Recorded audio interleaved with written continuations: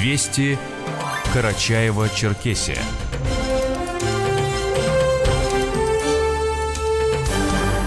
В студии с информационным выпуском Рита Нерова. Здравствуйте. И вот некоторые темы.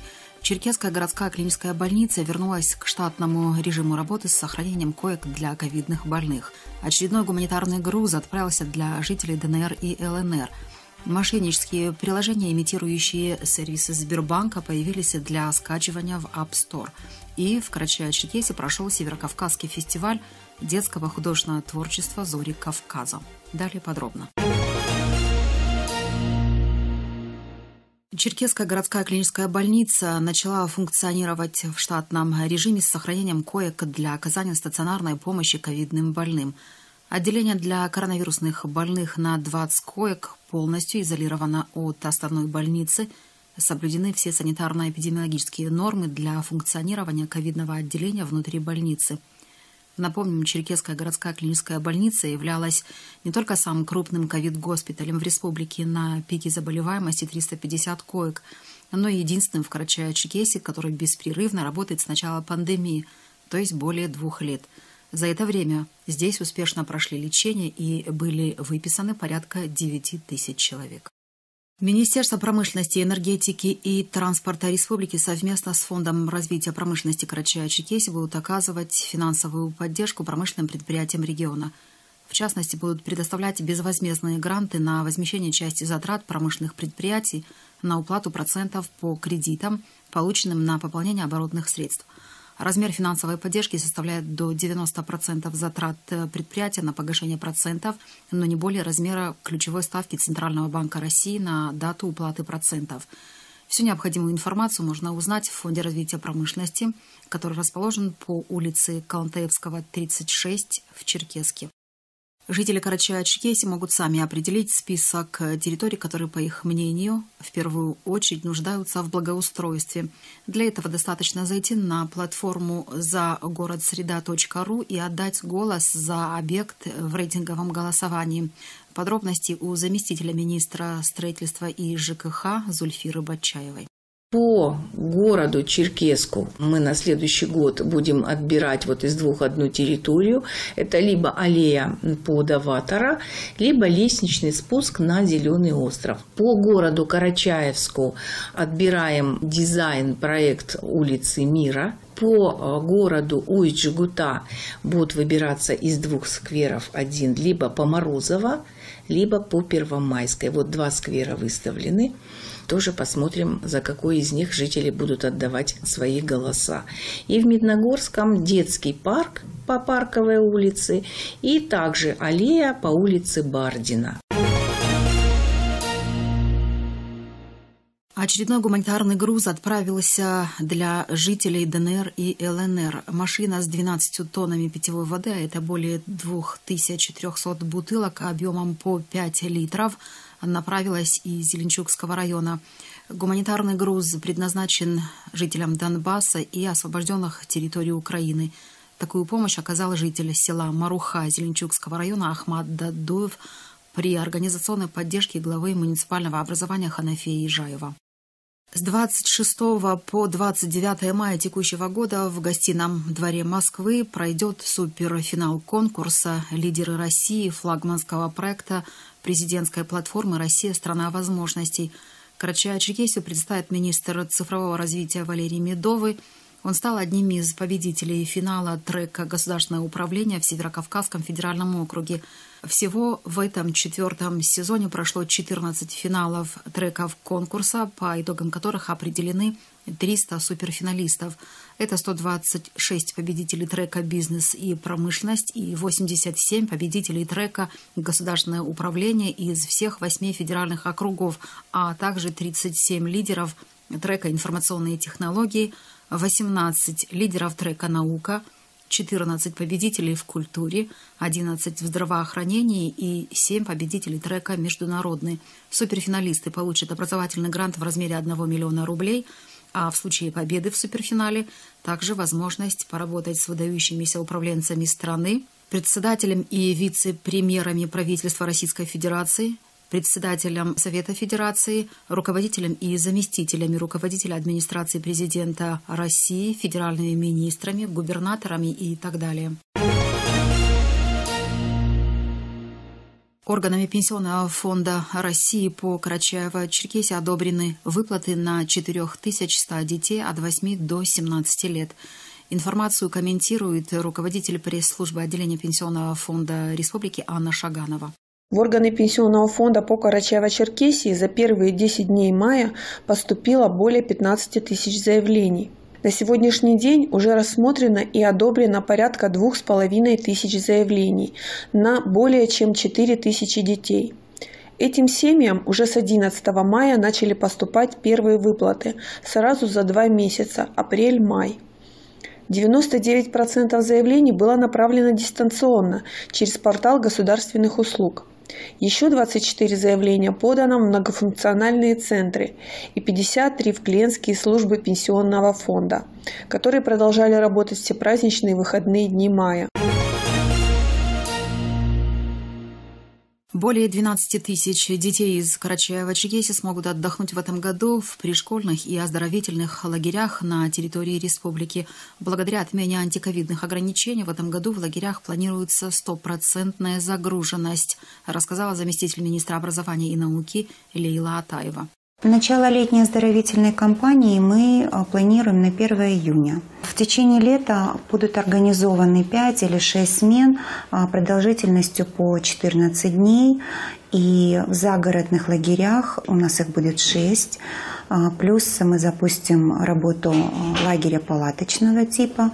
И остальные детки у нас будут отдыхать, как всегда, летом в школьных лагерях. Планируем охватить, э, я думаю, чуть больше 12 тысяч детей в этом году. Министерство образования и науки Карачаево-Черкесской Республики по приказам о обеспечении комплексной безопасности в школьных лагерях дневного пребывания в целях обеспечения этой безопасности э, начальникам муниципальных органов управления образования предписывает создать условия для безопасности жизни и здоровья детей. В регионе прошел республиканский форум «Дни карьеры в Карачаево-Черкесии», в рамках которого состоялся грантовый конкурс проектов Северокавказского федерального округа среди физических лиц. Программа была насыщенная, она включала лекционные, тренинговые и досуговые мероприятия с участием экспертного сообщества, а это три дня форума, две площадки и 63 участника. Эксперты приняли защиту проектов самого разного направления от бизнеса и туризма до IT, искусства, кинематографии, кулинарии и патриотики – по итогам конкурса грантовую поддержку от 100 до 400 тысяч рублей получат 18 представителей молодежи Карачаева-Черкесии.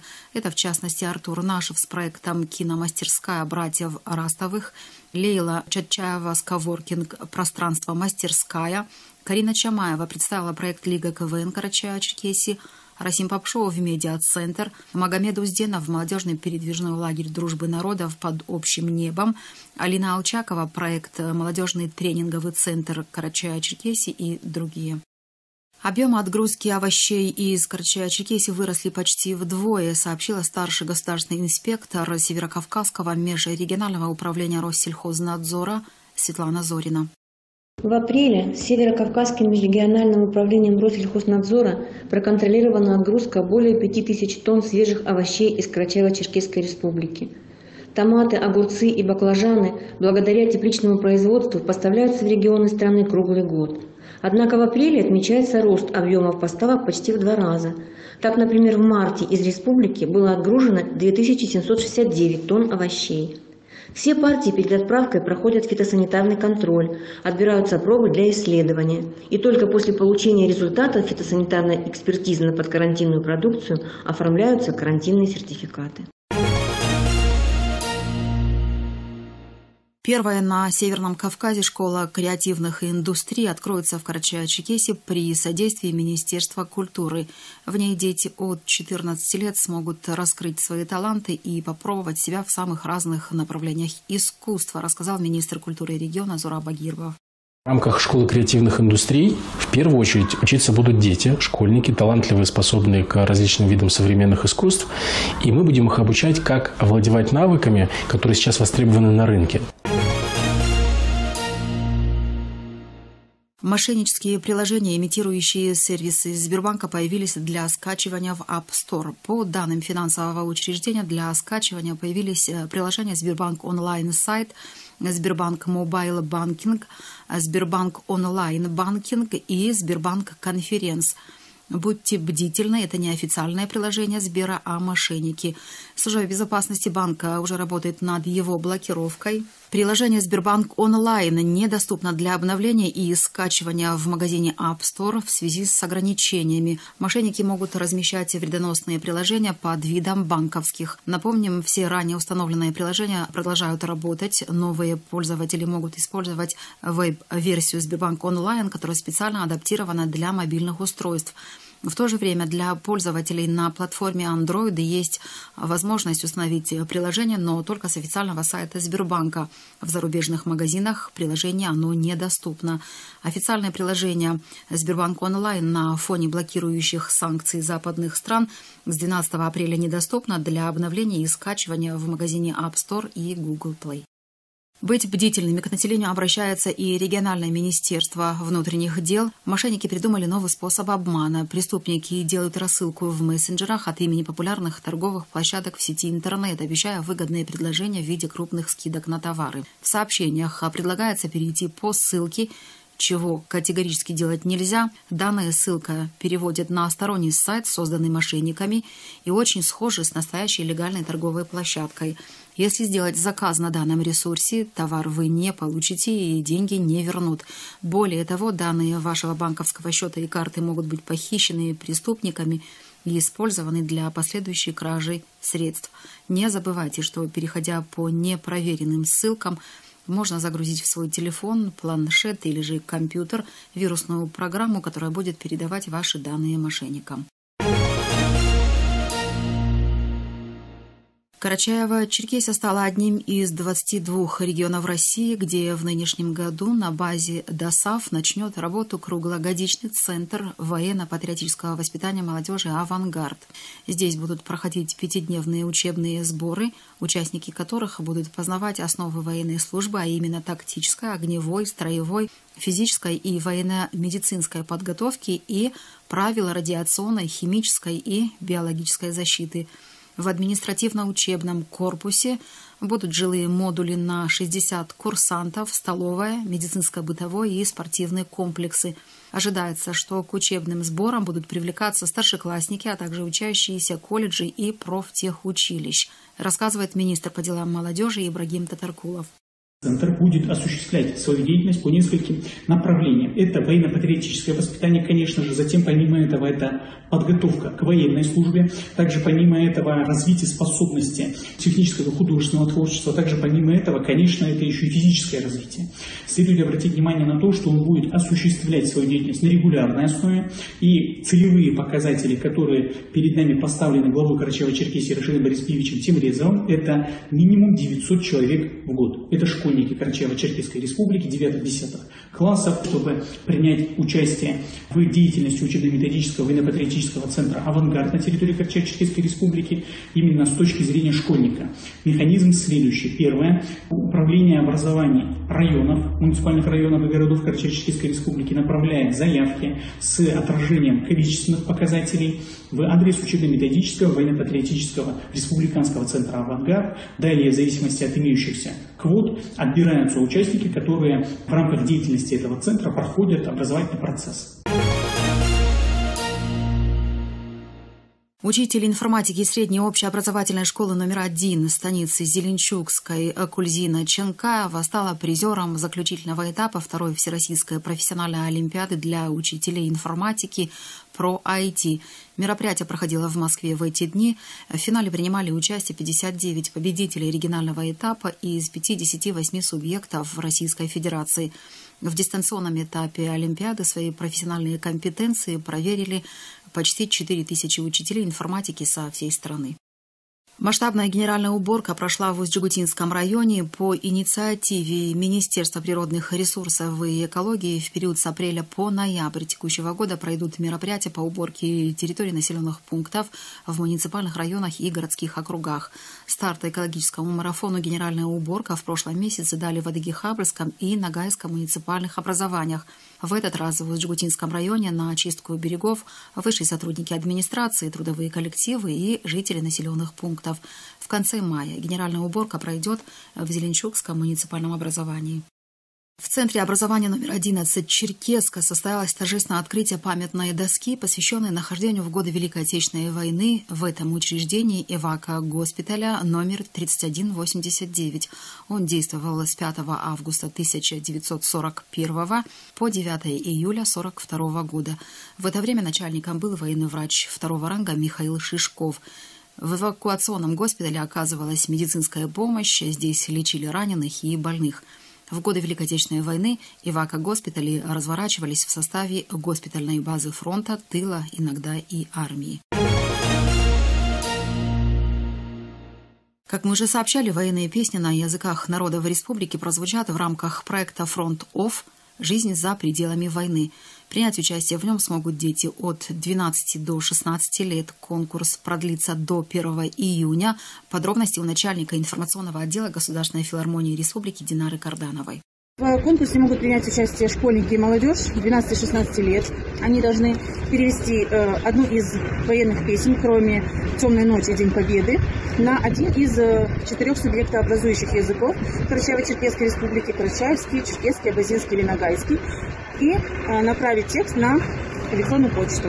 Эти две песни будут э, переведены нами, и они будут завершающими песнями концерта. Их будут петь на всех пяти субъектах образующих э, языках. В результате конкурса будут выявлены 8 победителей, которые э, смогут принять участие в завершающем концерте проекта и спеть в дуэте с э, популярными артистами Карачаево-Черкесской Республики, солистами Государственной филармонии. Конкурс уже объявлен, проводится с 14 апреля по 1 июня. Результаты конкурса будут объявлены на официальном сайте Государственной филармонии. Карачаево-Черкесии прошел Северокавказский фестиваль детского художественного творчества «Зори Кавказа» в рамках празднования столетия со дня образования республики. В мероприятии приняли участие около пяти сотен человек из разных уголков нашей огромной России, не только Крыма, Краснодарского и Ставропольского краев, Дагестана, Ингушетии, Калмыкии, Капризно-Балкарии, Адыгеи, Северной Осетии, Ростовской области, Карачаево-Черкесии, а также Абхазии и Южной Осетии. Таковы наиболее заметные события республики. Информационный выпуск провела Рита Нерова. Как не стать жертвой мошенников? Вам позвонили, прислали СМС с неизвестного номера с просьбой о помощи близкому человеку. Не впадайте в панику, не торопитесь предпринимать действий по инструкциям неизвестных людей. В разговоре задавайте вопросы личного характера, помогающие обличить мошенника. Под любым предлогом постарайтесь прервать контакт с собеседником, перезвоните родным и узнайте, все ли у них в порядке. Вам позвонили, прислали СМС из банка или госоргана с неизвестного номера. Не торопитесь действовать по инструкциям звонящего. Не сообщайте персональные данные неизвестным лицам, кем бы они ни представлялись. Проверьте информацию, позвонив в организацию. Вам прислали ММС или ссылку с неизвестного номера. Не открывайте вложенные файлы, не переходите по ссылкам, удалите подозрительное сообщение. Не устанавливайте приложения из непроверенных источников. Пользуйтесь антивирусным программным обеспечением. Подключите бесплатную услугу Content. Вы заподозрили интернет-продавца в недобросовестности. Оставайтесь бдительным, не предпринимайте поспешных решений и при первых же подозрениях откажитесь от сделки. Встречайтесь с продавцом в общественном месте, так как это наиболее безопасный способ совершения покупки. Передавайте деньги незнакомому продавцу только лично в руки. Никогда не переводите деньги незнакомым лицам в качестве предоплаты и не сообщайте дополнительные данные банковских карт. Вас просят воспользоваться вашим мобильным телефоном для срочного звонка. Убедитесь в добропорядочности обратившегося за помощью. В противном случае под любым предлогом откажите в просьбе. Не отдавайте телефон, если к вам обратились в темном или безлюдном месте. Наберите необходимый номер телефона и только после этого передавайте трубку. Следите за действиями звонящего. Не позволяйте заходить в меню телефона «Отправлять СМС». Если в отношении вас или ваших близких совершено преступление, незамедлительно обратитесь в полицию. Вы слушали Радио России Карачаева-Черкесия.